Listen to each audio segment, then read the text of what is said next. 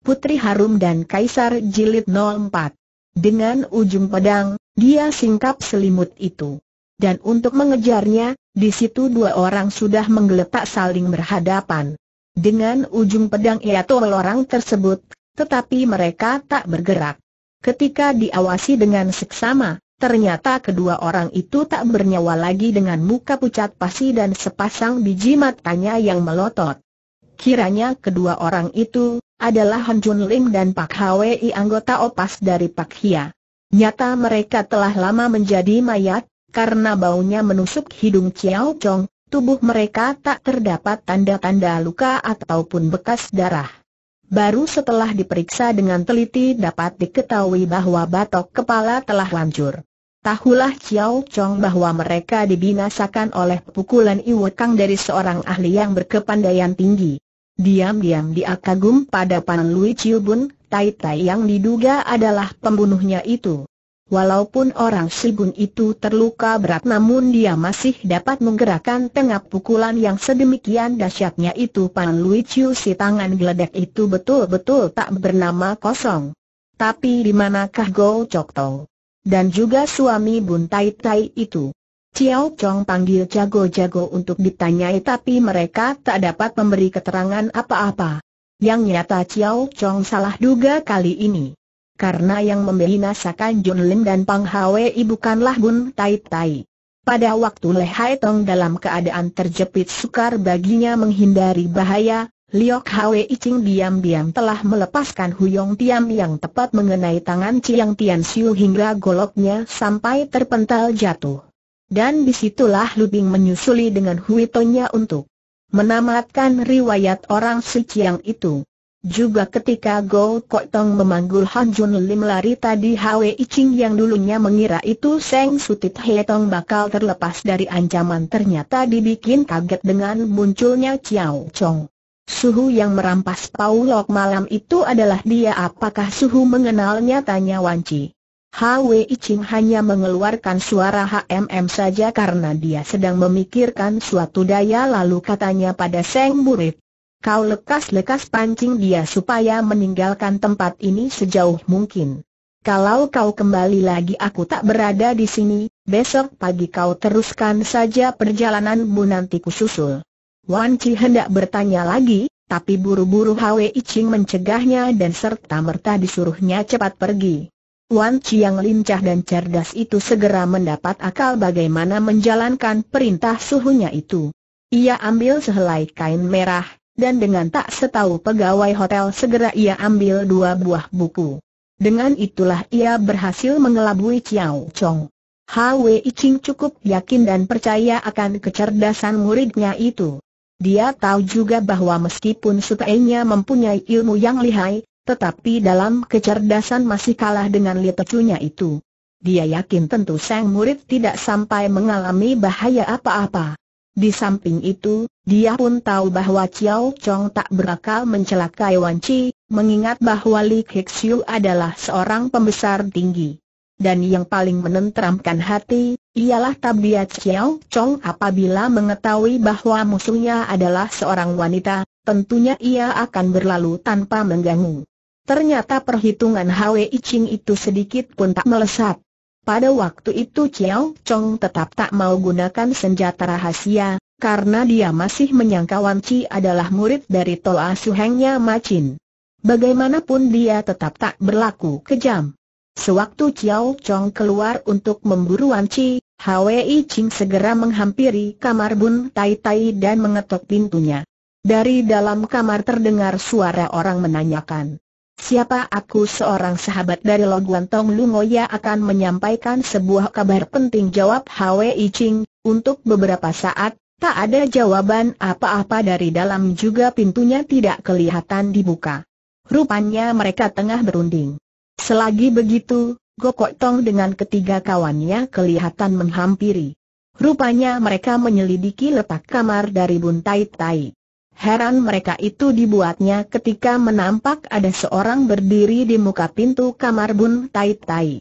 Justru pada saat itu pintu tampak dibuka dan muncullah Le Hai Tong di ambang pintu, Katanya Lo Chiam Po ini siapa aku ini sosokmu Bian Li Chiam Liok Hwe Ching, agak bersangsi Hai Tong ketika itu.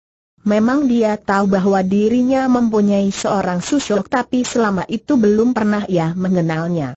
Jangan bersuara, aku akan bikin kau percaya ayo lekas sembunyi sana, seru Hwe Ching berbisik ketika nampak orang masih sangsi kepadanya. Mendengar itu, kecurigaan Hai Tong makin bertambah, dia tetap menghadang di ambang pintu. Nampak sikap bandel itu. Hwe Ching ulurkan tangan kirinya untuk menepuk pundak Hai Tong, buru-buru mengegos ke samping menjulur ke arah lambung orang. Dengan gerak lancai pelan-pelan didorongnya tubuh Hai. Lancai sebenarnya jurus pertama dari ilmu silat Butong Pei. Sama sekali Hai tak mengira, bahwa jurus itu di tangan Hwi Ching merupakan gerakan yang luar biasa kuatnya, hingga dia sampai terdorong beberapa tindak. Dalam kekagetannya, berserulah Hai dalam hatinya. Betul, betul inilah Susyoku, justru ketika itu Luping dengan sepasang goloknya siap untuk menerjang, buru-buru Hai Tong membuat gerakan tangan sambil mencegah. Suso, tahan pada saat itu, Hwi Ching melambai-lambai-lambaikan tangannya kepada kedua orang itu, maksudnya menyuruh mereka menyingkir. Habis itu, dia sendiri terus keluar untuk menyambut Go Kok Tong dan kawan-kawannya. Hai, orang dalam kamar ini sudah melarikan diri hayo kau periksa kemari tanpa curiga apa-apa. Go Kok Tong menerobos masuk diikuti oleh Hon Jun Lim dan Pang Hwi, sampai di situ, barulah Hwi Ching turut masuk palang pintu dipasang. Pada waktu itu, ketika melihat di sudut kamar tampak Leh Hai Tong dan kawan-kawannya, terkejutlah Kok Tong bertiga. Dia serukan kedua kawannya untuk mundur segera. Han Jun Lim dan Pang Hwi menurut, tapi baru mereka berputar diri, tiba-tiba kedua belah tinju Hwi Ching menyambutnya. Dan seketika itu remuklah batok kepala keduanya. Otak Kok Tong cepat bekerja, dalam keadaan terkurung itu. Lekas ia mengambil keputusan. Sambil melindungi batok kepalanya dengan kedua tangan, dia mengenjotkan diri loncat ke arah jendela yang terbuka. Dan untuk itu, hampir saja ia berhasil. Tapi celakanya, ketika hampir lolos buntai tai yang dilewati di atas kepalanya cepat bangun dan mengirimkan pukulannya yang terkenal itu. Tepat mengenai pundak lawan. Tenaga pukulan Pan Lui Chiu itu luar biasa dahsyatnya. Seketika itu juga, pundak kanan Kok Tong telah putus. Namun menahan kesakitan hebat Kok Tong tetap berlaku nekat untuk loncat keluar jendela itu. Menyusul itu, Hui To Luping menyambar dari belakang, syukur Kok Tong sudah lebih dahulu menjaganya. Begitu kedua kakinya menginjak tanah, ia enjotkan lagi ke samping. Walaupun tak sampai ia binasa, Tak urung juap pundak kirinya terpapas juga. Dengan mengerek gigi menahan kesakitan hebat Kok Tong terus lari terbirik-birit. Sampai di sini, lenyaplah kecurigaan Luping dan Hai Tong serta merta mereka berlutut di hadapan Hwe Ching. Sedang Bun Tai Tai yang masih rebah di pembaringan, buru-buru berkata, Lo Chiam Pual, maafkanlah aku tak dapat turun untuk menjalankan peradatan, ah, tak perlu banyak peradatan. Apa hubunganmu dengan Ceguan Tong Longoya tanya Hwi Ching sembari memandang ke arah Luping. Mendiang ayahku, Lo Chiam Pual, sahut Luping. Guan Tong Laote adalah sahabat karibku, tak nyana kalau dia sudah mendahuluiku, kata Hwi Ching dengan suara rawan. Mendengar itu, berlinanglah air mata Luping. Ia pun terkenang akan ayahnya yang tercinta itu. Kau adalah murid dari Mas Heng bukan bagaimana dengan suhumu itu tanya Hwi Ching pada Hai Tong. Atas berkah susuk dia tak kurang suatu apa pun, memang suhu pernah mengatakan tentang diri susuk yang katanya sudah saling berpisah berpuluh-puluh tahun lamanya. Dia selalu terkenang dan mencari tahu kediaman Susyok, suhumu adalah seorang yang setia, aku pun sangat terkenang. Tahukah kau bahwa susyokmu yang satunya lagi kini mencari kau juga Tio Chiao Chong susyok tanya Hai Tong dengan membelalakan mata. Hwe Ching menganggukkan kepalanya. Bun Tahai Lei ketika mendengar nama Tio Chiao Chong, terguncanglah hatinya dan tak sengaja meluncurkan kata-kata, ah, melihat itu buru-buru Luping memapaknya untuk membelai-belainya. Kalau aku mempunyai seorang istri sepertinya sekalipun sakit berat tak menjadi soal, diam-diam Hai Tong melamun sendiri ketika melihat kelakuan Lubing yang nampak sangat terbuka terhadap suaminya itu. Dia terus melamun yang bukan-bukan, ketika itu Hwe Iching tiba-tiba membuyarkan lamunannya dan berkata, Suteku itu memang berwatak rakus dan rendah. Dia merupakan titik hitam dalam cabang kita, hanya saja ilmu silatnya terlampau lihai. Apalagi dia jauh datang dari Pehia menuju ke daerah perbatasan ini tentunya mempunyai tulang punggung penjagaan yang sangat kuat sekali. Kini lebih baik menyingkir dari dia saja. Besok kita ajak lagi beberapa kawan untuk mencarinya. Lohu sendiri juga tak dapat mencuci noda dari kalanganku biarlah rerangka tulang-tulang tua ini dihancurkan saja, Paras Hwi Ching terlihat sungguh-sungguh dan sikap. Hai Satria. Kita semua hanya menurut apa yang Liok Lopeh rasa baik, kata Luping Seraya memandang Bun Tai yang mengangguk setuju pula. Hwi Ching ngangsurkan sepucuk surat pada Loing.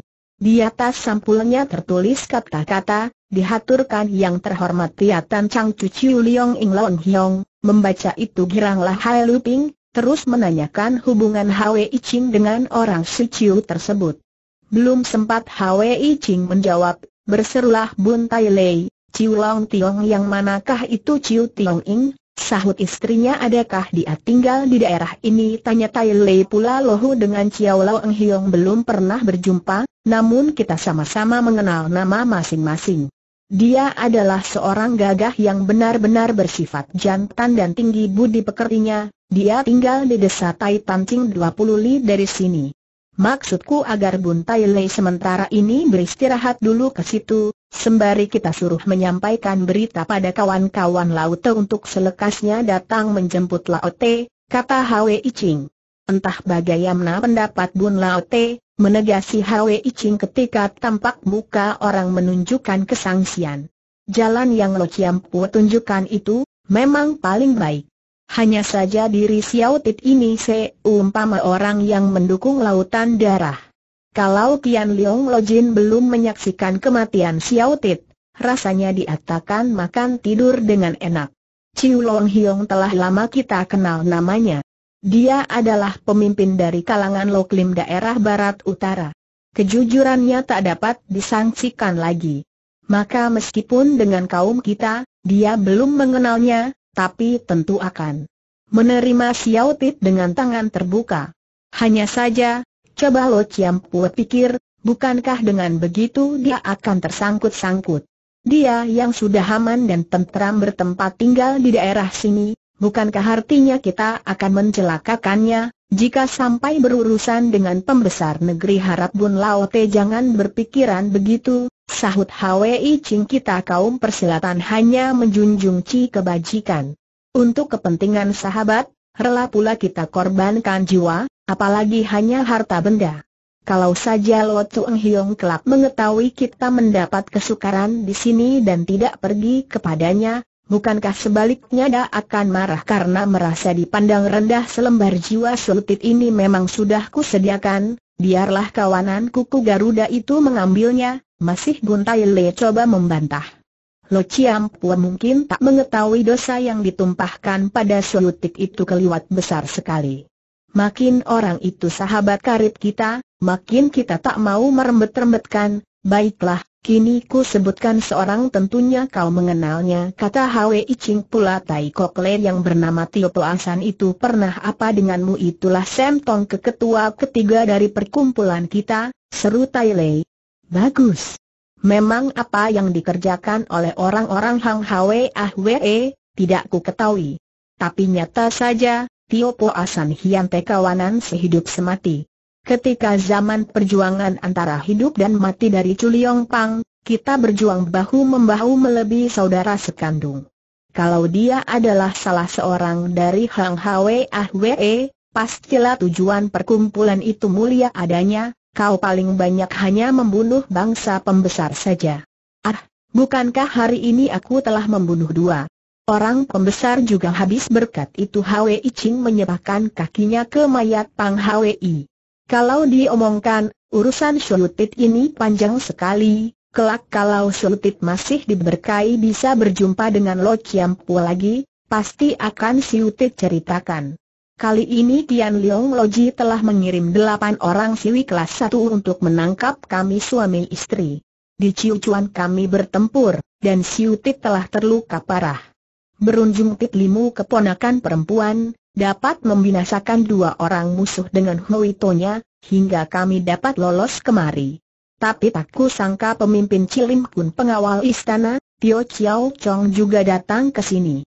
Sekalipun sulit binasa, Kian Liang masih takkan puas, selama masih belum mencapai maksudnya, dari ucapan itu Hwe Iching dapat menduga bahwa Tai Lei ini tentulah orang yang mengetahui sekitar rahasia Kaisar Chang Tiao itu. Karena kalau tidak begitu, masakan Tian Leong begitu bernafsu sekali untuk menangkapnya. Kagum juga hati Hwe Iching atas sikap jantan dari orang Shibun itu, yang sekalipun dalam kesukatan besar, masih tak mau membuat orang lain terlibat. Diam-diam Hwe Iching akan gunakan siasat gertak, untuk memaksanya agar mau menyingkir ketiatan Chung, katanya, Bun Lao Te kau tak mau menyeret orang lain itu bagus. Begitulah sifat seorang satya, hanya saja aku merasa sayang, apa yang Lo Chiampu sayangkan itu buru-buru Bun Tai Tai bertanya. Kau tak mau menyingkir, apakah kau kira kita bertiga tega untuk tindakan kau? Bahkan aku hendak memuji mereka serta memperkecil kekuatan kita, tapi yang nyata, dengan ikut sertanya suteku itu, pasti bukan lawannya istrimu. Dan hentemu meskipun aku seorang tua yang bodoh, namun tak mau korbankan jiwaku, kalau kita bertiga jatuh siapakah yang membawamu lari? Bagi seorang tua yang sudah hidup 60 tahun seperti aku ini, mati tak perlu disayangkan. Tapi bagaimana dengan Luping, sutitku yang menjadi istrimu itu? Hanya karena menurut sikapmu untuk menunjukkan kejantananmu itu, haruskan turut binasa sampai di sini saja. Keringat dingin membasahi kepala Bo Antai Lei mendengar kata-kata jago tua itu, kata-kata itu menusuk ke hati, tapi memang benar tak dapat dibantahkan. Melihat keadaan suaminya buru-buru Luping mengeluarkan sapu tangan untuk membesut keningnya, sembari memegang sebelah tangan suaminya yang terluka itu. Sejak berumur 15 tahun Bun Tai sudah mulai berkelana di kalangan Kangou, Sungai Telaga. Selama itu entah sudah berapa banyak pembesar bangpak dan orang jahat yang dibasminya. Tapi kini tangan ampuh itu serasa lemah lunglai, sewaktu berada dalam genggaman tangan istrinya yang halus itu, seketika berkatalah ia dengan patuhnya. Nasihat Lo Chiampu itu memani benar, tadi Xiao Tit hilaf, selanjutnya terserah saja bagaimana Lo Chiampu akan mengaturnya. Hwi Ching mengunjukkan surat yang akan diserahkan pada Chiu Chong Ing nanti. Di situ hanya dinyatakan ada beberapa sahabat dari Hang Hwe Ahwe yang akan minta berteduh dengan tak menyebut nama Bun Tai Lei dan kawan-kawannya. Menyambuti surat itu, Bun Tai Lei lalu menghela napas, lalu berkata, dengan kedatangan kita ke Tiatan Chun ini, berarti Hon Hwe Ahwe tambah seorang injin penolong lagi, kiranya ada sesuatu anggar-anggar dalam Hon Hwe Ahwe yang menyatakan bahwa Budi tentu dibalas, sakit hati tentu dihimpas. Barang siapa yang melepas budi pada Hong Hwe Ahwe biar bagaimana juga tentu akan dibalas sampai akhir. Tapi celakalah bagi mereka yang memusuhinya. Besar atau kecil, setiap dendam tentu akan diperhitungkan. Karena itulah, orang-orang Tinuan Piao kok menjadi tergetar hatinya, sewaktu mengetahui dengan siapa mereka berhadapan. Atas pertanyaan Hwe Iching siapa yang disuruh memberi warta pada Hang Hwe Ahwe Pusat, menjawablah Hai Tong. Dari tiga tempat dalam setiap tiga daerah kita mempunyai 12 orang Cheng dan Ho Hiang Chu ketua dan wakil ketua selagi Bun Su Tongkeh dan Lu Kepe Tongkeh yang berada di sini. Semua Hiang Chu sudah berkumpul di Anse. Mereka akan menganjurkan Sao Chu untuk segera mengambil alih tampuk pimpinan. Dengan alasan masih muda kurang pengalaman, Sao Tocu tentu akan menolak dan meminta agar Hai Tong ke Butim Totianglah yang memegang pimpinan. Butim Totiang juga dengan tegas menolaknya, sehingga mereka kini masih berdebat di sana. Tinggal menunggu kedatangan Bunsu Tongkeh dan Lu Kepe Tongkeh, pemilihan ketua umum itu akan segera dilangsungkan. Tak dinyana, kalau kedua Tongkeh ini terlibat kesulitan di sini. Jadi sebenarnya para Hyang Chu itu tengah mengharap kedatangan kedua tongkeh ini. Hai Tong berhenti sejenak dan berpaling pada Bun Tahilei, sambil berkata, sebenarnya aku diutus oleh Sao Tocu Kelok yang untuk menjelaskan kesalahpahaman ini kepada ahli waris keluarganya Ban. Tapi berhubung tak ada orang lain, biarlah. Aku saja yang pergi ke Ansi untuk menyampaikan warta. Bagaimana pendapat Suko dalam Hang Hwe Ahwe kedudukannya jauh lebih rendah dari Bun Tai Lei, setiap persoalan dia harus tunduk kepada yang lebih tingkatannya. Tapi sewaktu Bun Tai Lei belum sempat membuka mulut, Hwe Ching telah mendahului berkata, menurut pendapatku, kamu bertiga sebaliknya lekas-lekas berangkat ke Tiatan Chung, setelah itu, Leh Yanti cepat menuju Lok yang urusan memberi kabar ke Anse serahkan saja padaku. Kini waktu sangat singkat dan mendesak, harap kalian segera berangkat sekarang Bun Tai Lei menurut saja. Dari dalam sakunya, dia mengeluarkan setangkai bunga sulaman warna merah Hong Hwa terus diserahkan pada Hwe Ching, katanya, Lo Chiam Pua, setiba di Anse kau pakailah bunga ini, tentu bakal ada orang yang akan mengantarkan Lo Chiam Pu nanti. Ping lalu membantu suaminya bangun sementara Ahai Tong meletakkan kedua mayat itu di tempat tidur kemudian ditutupi dengan selimut, sedang Hwe Ching segera bertindak keluar terus melarikan kudanya menuju ke barat. Karena tak keburu mencegah, pelayan hanya mengawasi dengan melongo saja. Dengan Hetong sebagai pembuka jalan Luping menyambar sebatang palang pintu yang digenggamnya di sebelah tangan, sedang sebelah tangannya yang lain memegang suaminya keluar dari kamar. Hetong lemparkan uang perak lima tel ke arah meja pengurus hotel, lalu berseru, inilah uang kamar dan makan kami. Dan dalam kamar ada benda yang sangat berharga sekali. Awas kalau kalian sampai berani mengambilnya. Si pengurus hotel tersipu mengiakan sedang pelayan mempersiapkan kuda, tangannya sampai gemetaran. Tak berapa lama setelah tiga orang Hang Hwe Ahwe itu berlalu, muncullah Wan Chi sehabis menipu Chiao Chong dengan buntalan palsu tadi. Baru saja ia melangkah masuk pintu hotel, dilihatnya seorang penunggang kuda keluar dari hotel itu, orang itu tentulah Piao Su dari Tinuan Piao Kok Tong Siu Ho, Wan Chi terus saja bertukar pakaian, lalu mengawani Li Tai Tai. Sementara itu Leh Hai Tong bertiga dengan kencangnya melarikan kudanya menuju ke Tiatan Ciung. Ketika bertanya pada seseorang penduduk, barulah diketahui bahwa tempat tujuan itu sudah tak berapa jauh lagi. Diam-diam Luping terhibur hatinya, sekali meneduh ke Tiatan Ciung jiwa suaminya pasti tertolong. Tiap Tan Chiu Tiong Ing namanya harum di dunia persilatan.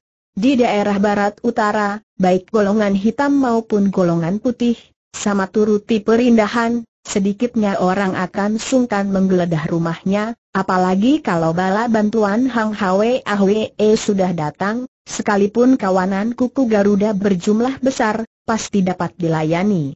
Selagi Luping bergembira dengan renungannya dari arah muka tampak tiga penunggang kuda mendatangi. Yang dua ternyata muda-muda, tapi seorang sudah berjenggot putih, wajahnya kemerah-merahan dan membawa sepasang toat tiatan semacam gempolan. Di persimpangan, orang tua gagah itu melepaskan pendangannya ke arah Bun Tai Lei dengan rupa heran. Tapi karena kuda itu berlari cepat, maka sebentar saja mereka sudah terpisah jauh satu dengan lain. Suku susah, orang itu tadi mungkin Tiatan Chiu Tiong. Ing tiba-tiba Hai Tong berseru. Bagaimana kau bisa mengetahuinya? Tanya Luping bukankah dia membawa senjata sepasang tiatan tadi sepertinya memang dia orangnya, Bun Tai Lei menyelak. Tapi kita belum pernah berjumpa dan dia agaknya terburu-buru mungkin ada urusan penting menghadang dan menanyakan nama orang di tengah jalan, kurang pantas. Kita terus saja pergi ke Tiatan Chun dulu sekejap saja sampailah mereka ke Tiatan Chung. Ternyata desa itu sekelilingnya dilingkari sebuah sungai kecil yang pada kedua tepinya ditumbuhi pohon itu. Di luar desa terdapat sebuah benteng di situ terpampang sebuah jembatan gantung. Kesemuanya menambah keangkeran desa tersebut. Chong Teng cepat menyambut mereka dan mempersilakan masuk ke dalam, Sesaat kemudian keluar seorang muda yang kalau ditelik sikapnya seperti pengurus rumah tangga itu. Dia memperkenalkan dirinya sebagai Song nama San Beng.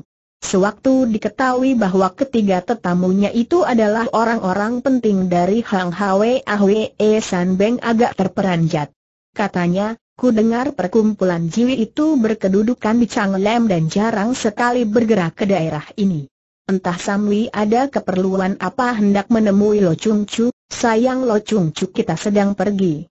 Sengaja pengurus rumah itu berlaku demikian tawar karena dah menyaksikan kedatangan ketiga tetamunya itu, karena setaunya majikannya tak ada hubungan dengan perserikatan Hong Hwe Ahwe. Mendengar orang yang dicari tak di rumah sedang sikap yang menyambut dia itu tak begitu mengasih Bun Tai Le tak mau mengunjukkan surat dari Hwe Ching dan sedianya dia akan berlalu dari situ, katanya, karena Chiu Lung Hyong tak di rumah, kita pun akan kembali saja sebenarnya kita pun tak ada urusan penting dan hanya sekedar akan mengunjungi Chiu Lung Hyong yang namanya sudah lama kami dengar itu, melihat orang itu sudah bangkit dari kursinya buru-buru San Beng mencegahnya. Harap Tuan jangan tergesa-gesa dulu, tunggu setelah hidangan sekedarnya, Segera San Beng memerintahkan seorang Chong Cheng untuk menyiapkan daharan.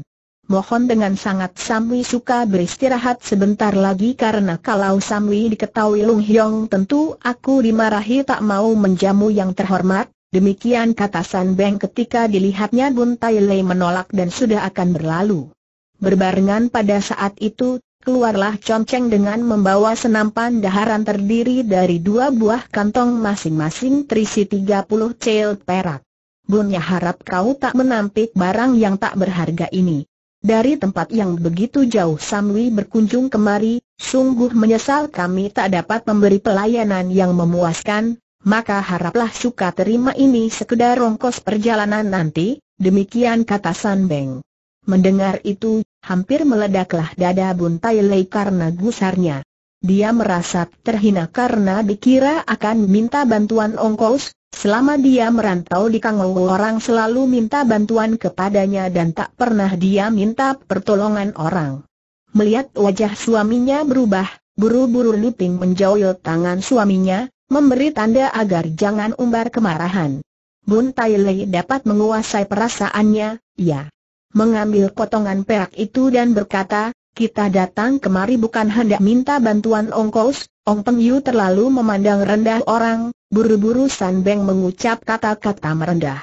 Tapi dalam hatinya dia tersenyum, melihat ucapan sang tamu yang minta bantuan, tapi ternyata mengambil kantong uang.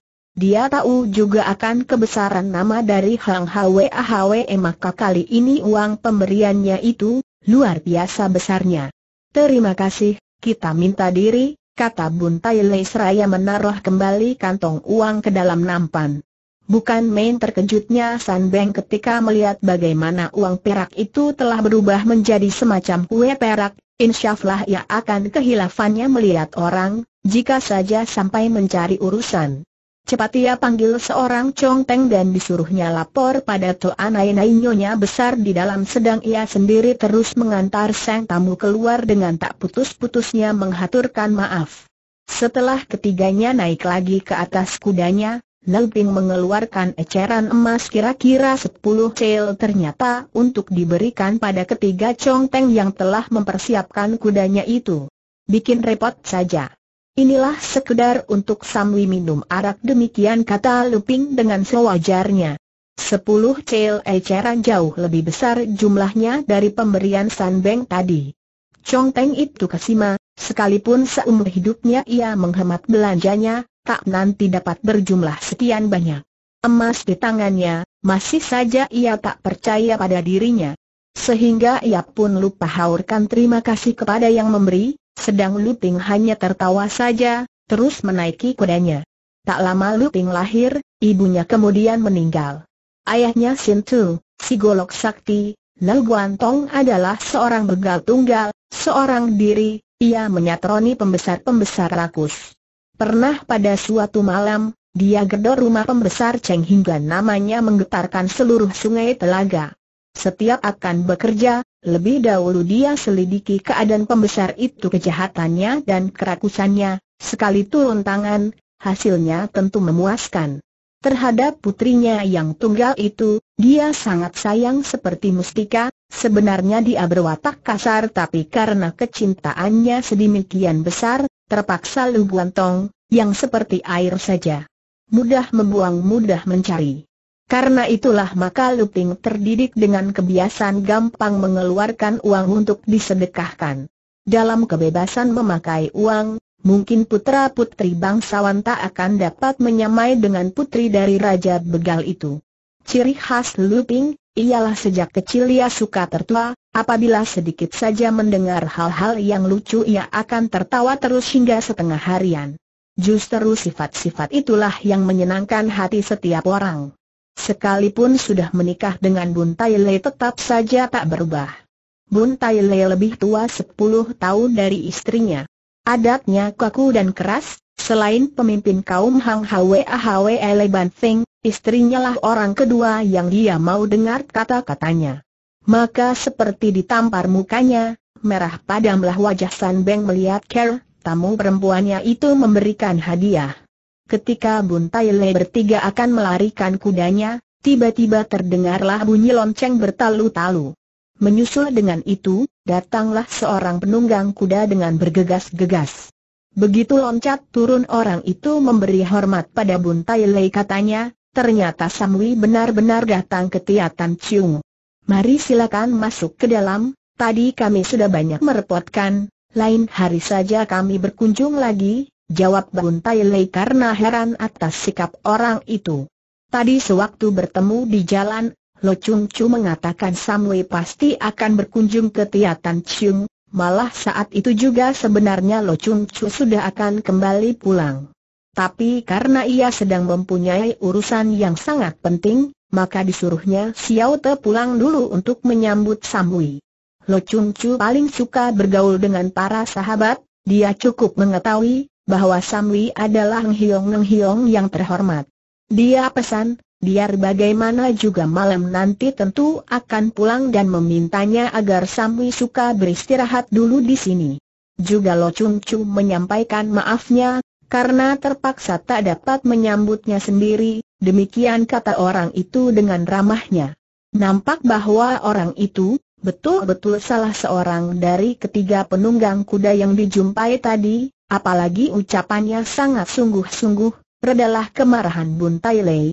Orang itu bernama Beng Kian Hiong, Tecu murid pertama dari Tiatan Chu Tiong Ing, dengan laku hormat sekali, ia segera memimpin ketiga tamunya masuk. Sedang San Beng hanya mengawasi saja dengan perasaan tak enak. Ketika sudah berduaan dan menghidangkan teh. Seorang Chong Teng berbisik ke dekat telinga Kian Hiong, lalu bangkit dan berkata, Sunilo istri suhu mengundang Li Hang Hiong ini untuk beristirahat ke ruangan dalam, dengan diantar oleh Cheng Teng, lalu Ping masuk ke dalam disambut oleh seorang bujang perempuan. Astaga, ada tetamu kita tak menyambutnya tiba-tiba seru. Dari arah muka. Menyusul kemudian keluar seorang wanita kira-kira berumur 40 tahun, lantas kemudian membimbing tangan Lao Ping, sambil berkata dengan ramahnya. Tadi orangku mengatakan ada tetamu dari Hang Hwe berkunjung kemari dan hanya sebentar saja lalu pergi, sungguh aku menyesal, syukur kalian datang kembali. Hayo, tinggallah di sini. Habis itu ia berpaling pada pelayannya dan berkata pula, Nyonya ini sungguh cantik sekali bukan? Sampai syocianya kita semuanya ini ia tak bisa menempil dengan dia. Diam-diam Luping berpikir bahwa nyonya itu sungguh ceriwis, tapi sangat ramah, maka ia pun menjawabnya, To anai-nai ini, bagaimana ku harus menjemputnya, Sao Mai sendiri orang Silu, kemudian menjadi anggota keluarga Sibun. Atas pertanyaan itu menyahuti seorang dayang. inilah nyonya majikan kami. Kiranya wanita itu adalah istri kedua dari Chiu Tiong Ing. Istri Chiu Tiong Ing yang pertama telah meninggal dan tinggalkan dua orang putra. Tapi putra-putranya karena ada perselisihan dalam kalangan Kangou, mereka juga telah meninggal. Istri yang sekarang ini memberikan Liong Ing seorang putri. Chiu Ki namanya, kini sudah berusia 18 tahun. Chiu Ki ini mewarisi adat ayahnya, suka membuat onar di luaran. Urusan penting yang membuat Tiong Ing begitu terburu-buru juga karena soal puterinya itu yang telah melukai orang. Maka Tiong Ing perlu untuk meminta maaf. Nai-nai itu karena hanya mempunyai seorang puteri, tampaknya masih berduka. Mungkin Ciu Tiong yang sudah lanjut usianya itu, takkan mempunyai keturunan putra lelaki lagi tapi dugaan itu meleset. Dalam usia 54 tahun ternyata Tiong Ing masih diberkahi seorang putra. Dapat dibayangkan bagaimana girangnya hati sepasang suami istri yang sudah mendekati tua itu.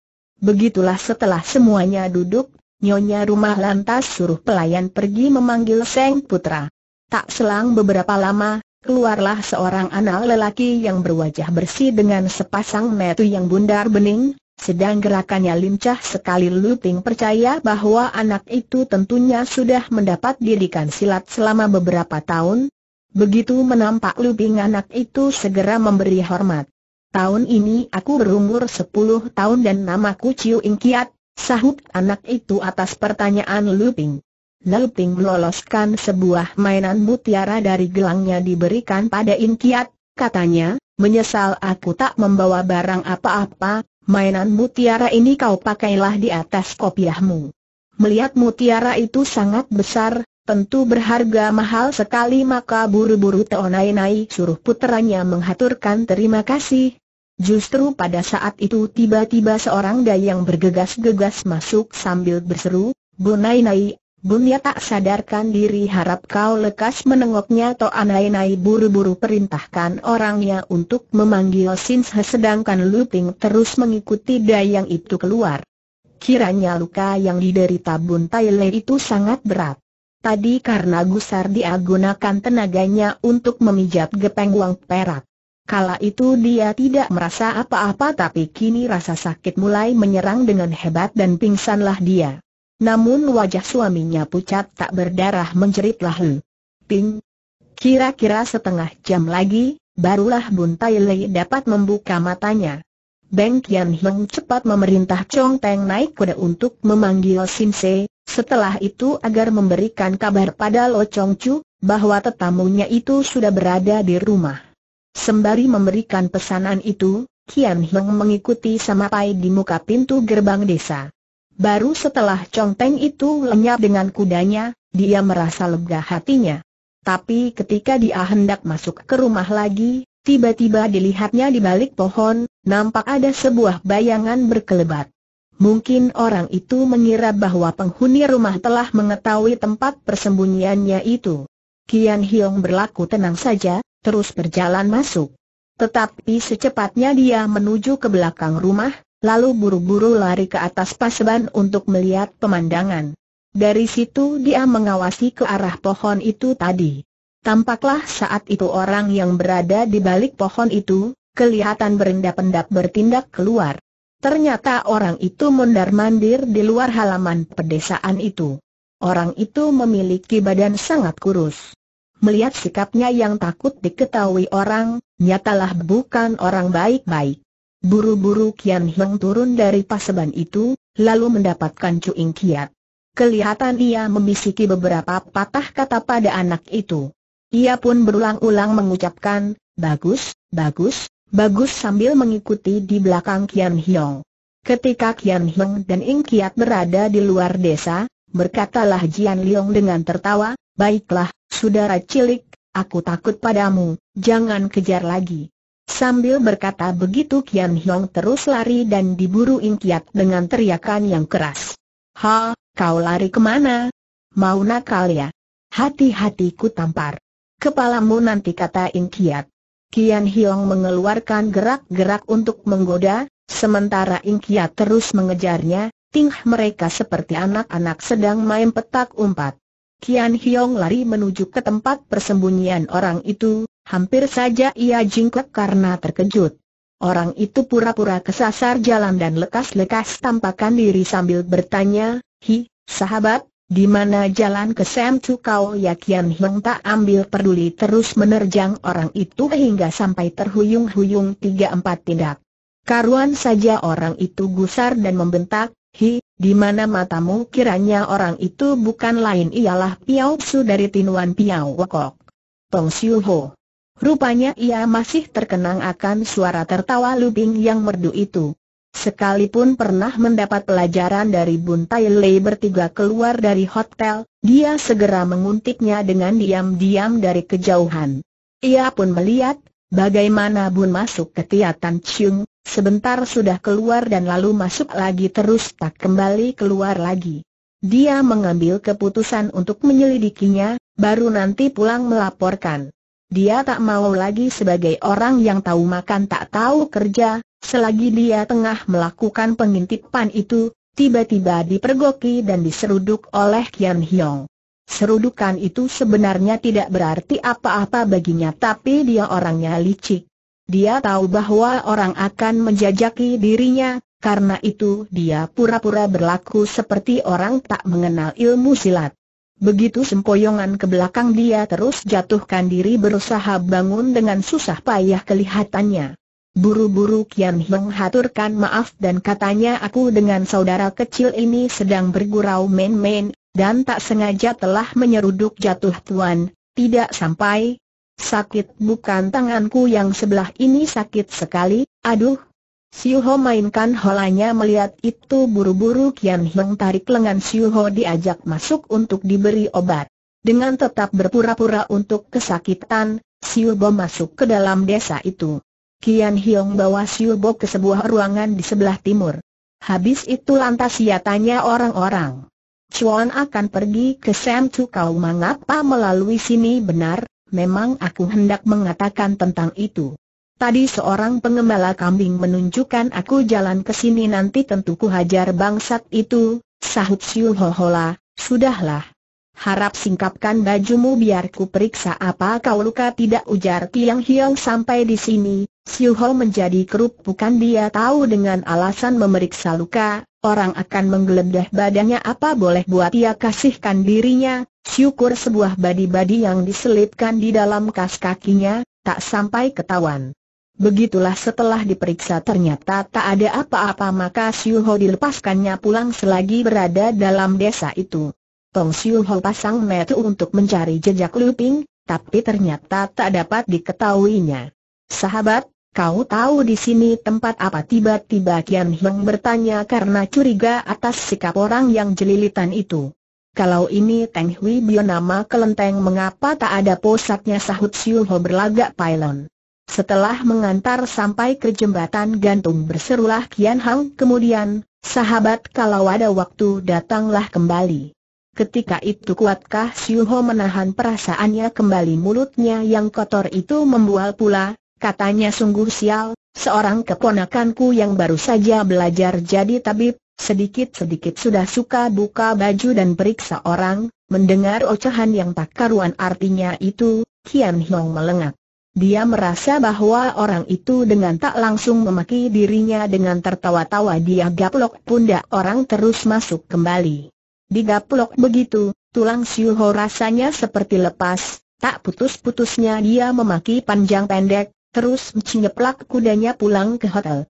Di hotel kelihatan Tio Chiao Chong, Gokok Tong dan beberapa Piao Su sedang asik berunding, di samping itu masih ada tujuh atau delapan orang yang Siu Ho belum kenal. Rupanya mereka tengah menduga-duga ke mana larinya Bun Tai Lei dan kawan-kawan dan siapa orang tua yang membunuh Hao Lun Lim dan Pang Hwe itu. Dengan bangga Siu Ho ceritakan hasil penyelidikannya tadi, sudah tentu bagian di mana ia dipalai oleh Kian Heng itu dilewatkan. Mendengar itu Chow Chong girang sekali. Lekas kita ke sana, Tong Toate harap kau tunjukkan jalan. Biasanya Chiao Bong hanya memanggil Lotong, Tong Tua, tapi kini, karena gembira, ia menyebut Lao Te. Dengan bangga Siu Ho meluluskannya. Tangan Kok Tong yang patah itu sudah disambung oleh Sin Se. Dia segera kenalkan Siu Ho pada kawan-kawan baru itu. Mendengar nama-nama mereka bercekatlah Siu Ho dalam hatinya, kiranya mereka adalah jaga-jago tersohor dari kalangan persilatan. Orang yang memakai jubah kuning itu, ialah si Bin Siwi SWI Thailand, sedangkan lain-lainnya ialah Chong Hou Tau dari Delinong Hou Pan Lan Chong Teng dari kota Raja Sengbing ahli waris dari Gan Koh Pang di Holam. Gan Pekian dan beberapa kepala polisi yang kenamaan dari Tian Chin dan Pao Hating untuk menangkap Bounty Bailey, para ahli silat kenamaan bangsa Boan maupun Han dan daerah utara sama berkumpul di desa sekecil seperti Sem Tao Hao itu dengan bersiap-siap rombongan jago-jago kuku Garuda itu menuju ke Tiat Tanjung. Kini kita ganti menengok keadaan Liok Hwe Iching dengan menempuh hujan salju, besar, dia larikan kudanya ke arah barat. Melalui puncak gunung tersebut dia dapatkan bekas-bekas darah dan pertempuran orang-orang Wi dengan orang-orang dari Piao Kok kemarin itu, sudah hilang di sapu hujan. Dalam sekejap saja dia sudah menempuh empat atau lima puluh li dan sampailah ke sebuah pasar kecil, karena kudanya kelihatan sudah kelihatan lelah maka dengan pelan-pelan masuklah dia ke situ. Sebenarnya hari belum terlalu gelap, dapatlah ia meneruskan perjalanan lagi, tapi ternyata kudanya mengeluarkan busa dan mulutnya, napasnya kemas kemis, tiba-tiba di ujung-ujung ekor kuda tengah melongo ke sana ke sini seperti tengah menanti seseorang. Melihat kedua ekor kuda itu badannya tinggi dan besar-besar, bulunya mengkilap, timbullah rasa kepingin dalam hati Hwe Iching segera ia menghampiri orang itu adakah kuda itu dijualnya. Orang Wi tersebut menggeleng-gelengkan kepalanya.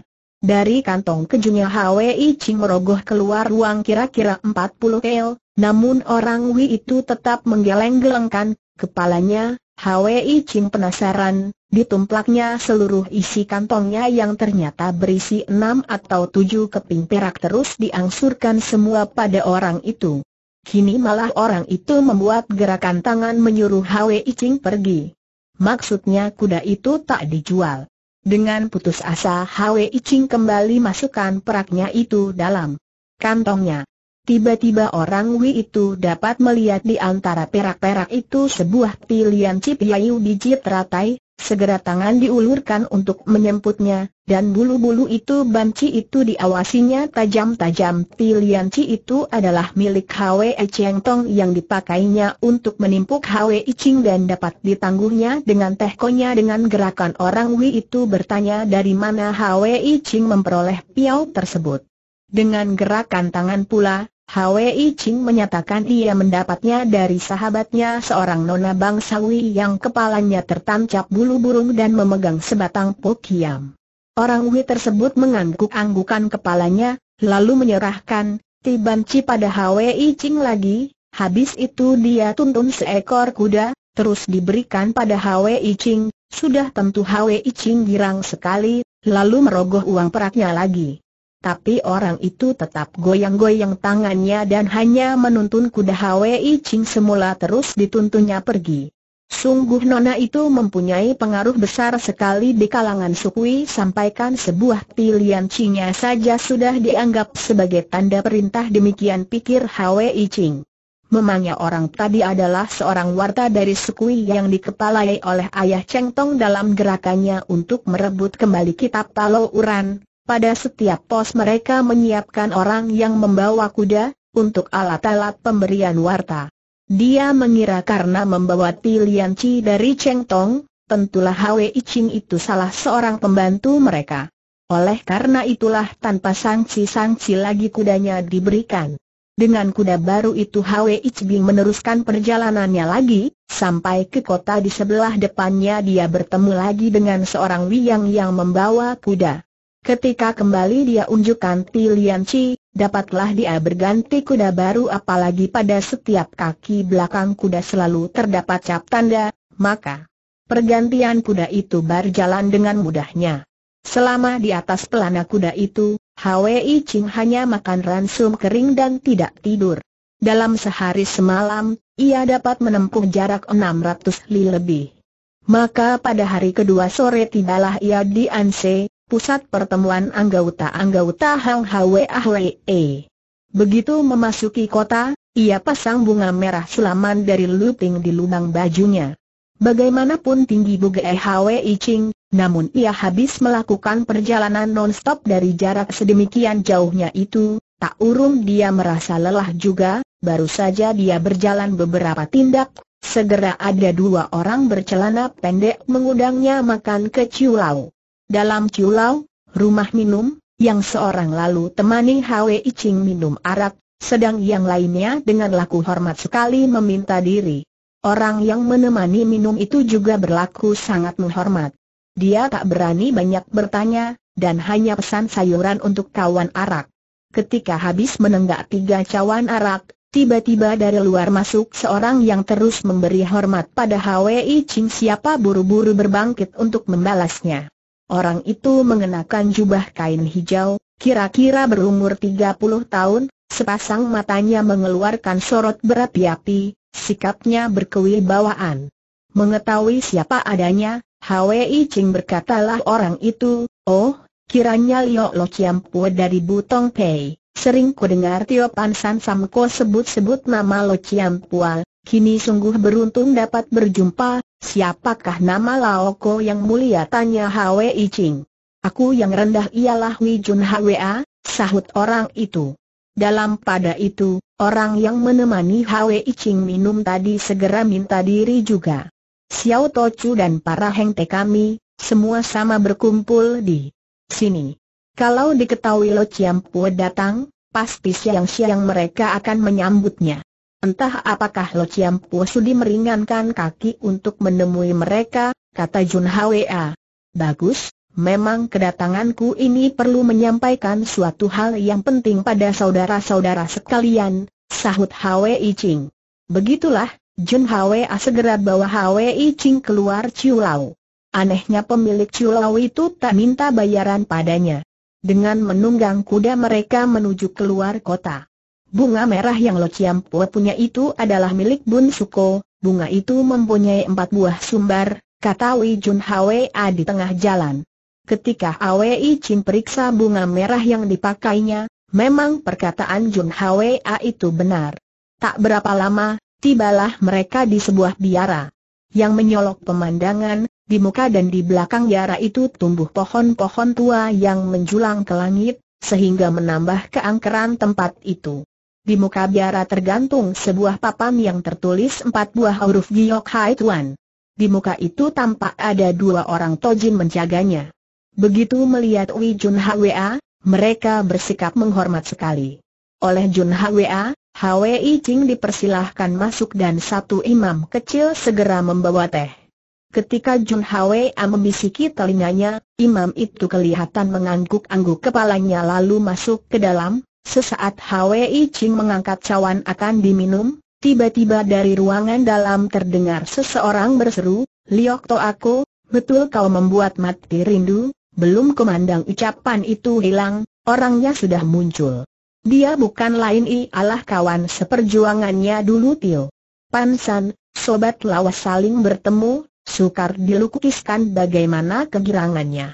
Beberapa tahun ini tol aku bersembunyi di mana, bagaimana bisa datang kemari? Demikian pertanyaan susul menyusul keluar dari mulut Pansan Tio Hyante, baik kita bicarakan dulu urusan penting yang menjadi tugasku ini, Tiba-tiba Hwi Ching berkata dengan bersungguh-sungguh, kalian punya bunsu tangkeh ini berada dalam kesulitan besar, habis ini lantas Hwi Ching ceritakan apa yang sudah terjadi. Dalam pada itu tiba-tiba di luar terdengar suara seseorang yang sedang berteriak, Suko, kakak keempat dalam bahaya, hayo lekas kita menolongnya, biar aku yang berangkat dulu jangan kau begini gegabah, tunggu putusan Xiao Tocu dulu, cegah Wi Jun Hwa. Tapi orang itu tetap ngotot.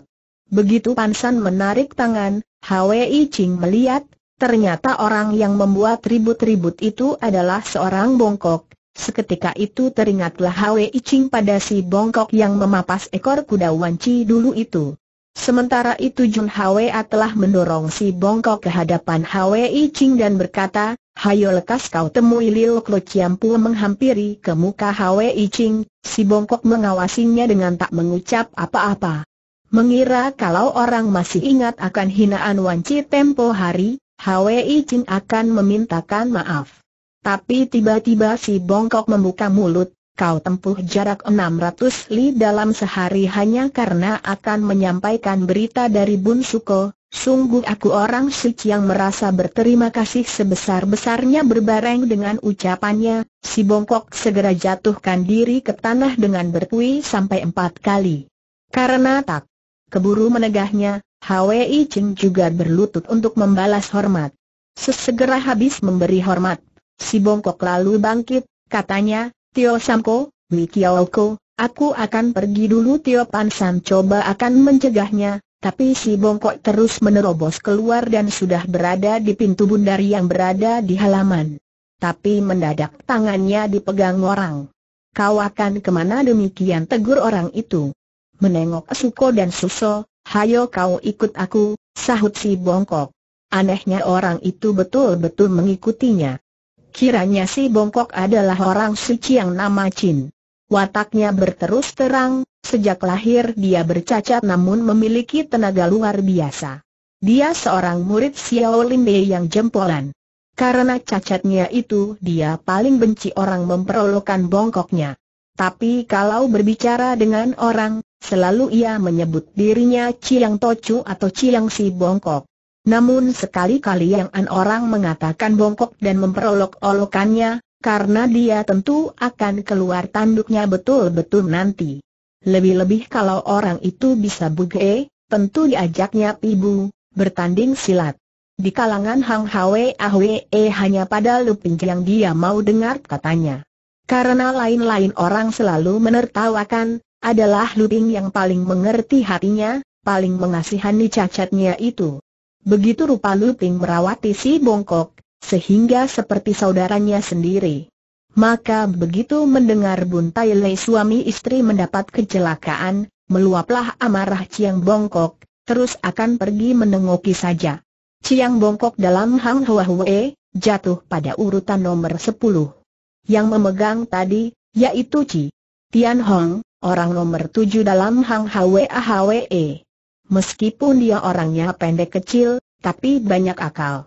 Dialah Kunsu, juru pemikir, dari Hang Hwe Ahwe. Di samping itu, lihai juga bugainya, luwekang maupun guakang serta segala ilmu senjata. Kalangan Kangou memberi dia sebuah julukan sebagai bucukat atau si Kong Beng dari Hang Hwe Ahwe.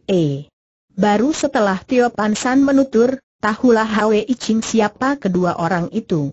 Pada saat itu pun para tangkeh, pemimpin daerah, sama berturut-turut keluar.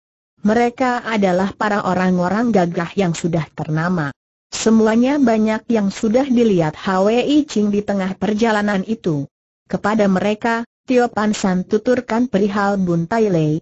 Ji Tangkeh, pemimpin kedua, yang hanya berlengan satu, yaitu Bu Tin Tojin berkata, Mari kita temui Xiao Tocu segera mereka menuju ke halaman belakang, masuk ke sebuah rumah besar.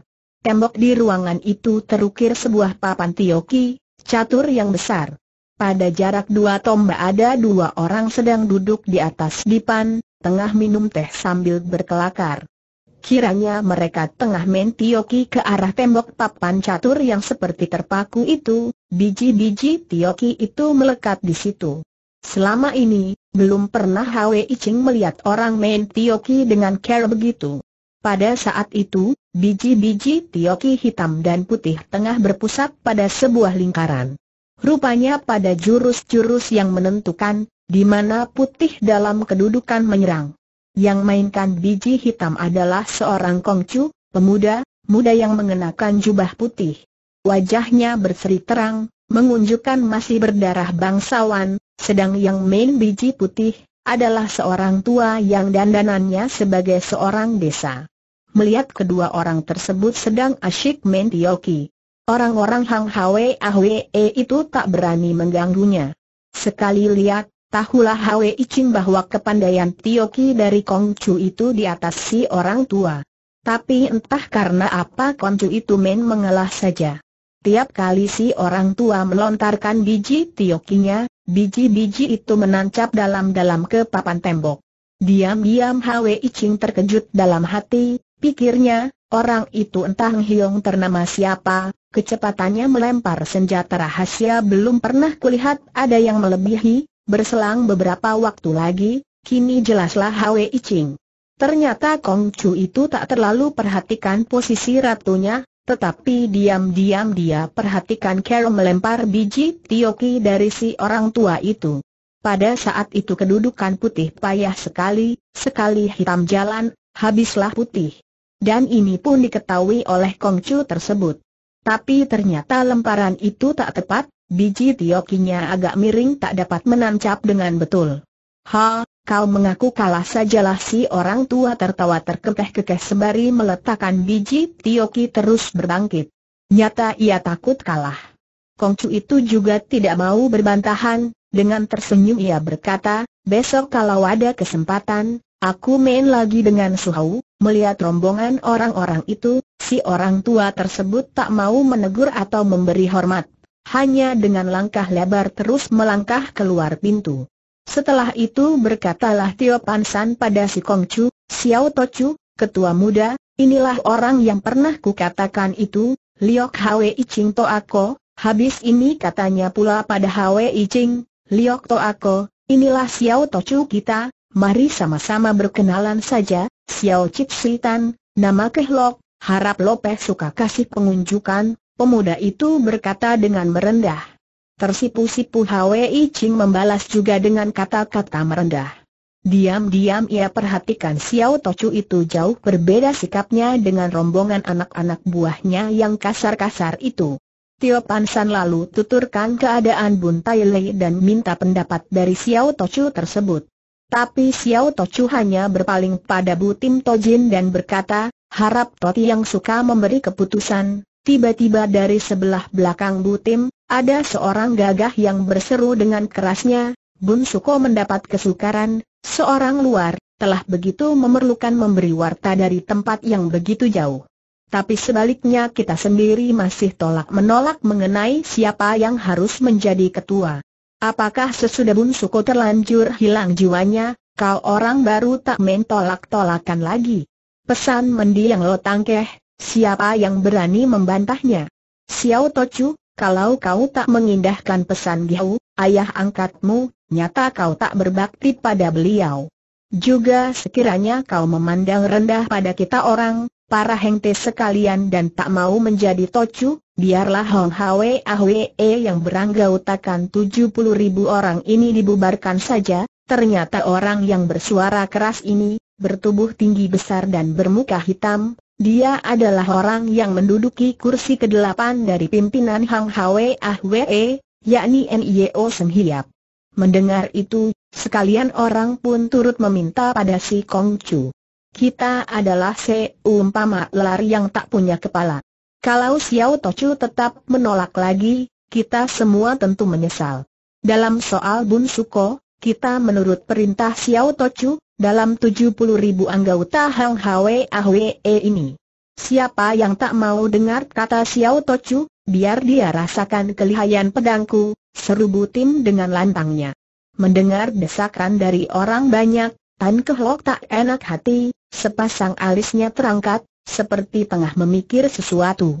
Melihat itu, Xiang Hek Chi adalah seorang dari Siang Hiap berkata dengan suara berpengaruh pada adiknya, Heng Te, Betul-betul Xiao Tochu tak menghargai kita.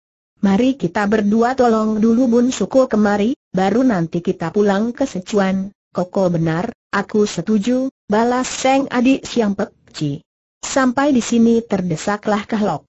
Kalau ia tetap berkeras menolak, pasti akan mengecewakan orang banyak. Apa boleh buat, katanya. Bukan aku keras kepala, tapi mengingat umurku begitu muda, kurang pengalaman, kurang pengetahuan, tentu tak pantas memegang jabatan penting itu. Tapi karena kalian semua menghendaki demikian, apalagi marhum Gihuku pun telah meninggalkan pesan, apa boleh buat terserah kehendak saudara sekalian. Seketika itu orang Hang Hwe Ahwe gempar karena girangnya, bahwa Xiao Tochu telah menerima angkatan itu. Upacara pengangkatan, biar nanti kita langsungkan di Paseban Chong Hiang Tong di Tayou. Sekarang harap Chong Tochu bersembahyang dulu pada Chow Wasu, untuk menerima Leng Hoa, lencana jabatan, kata Bu Tim. Hwe Ching cukup tahu bahwa sesuatu pelantikan tentu mempunyai upacara istimewa. Sebagai orang luar dia tak enak berada di situ. Habis memberi selamat pada Kehlok, dia undurkan diri oleh Tio Pan San dia dibawa ke kamarnya sendiri, supaya beristirahat dulu.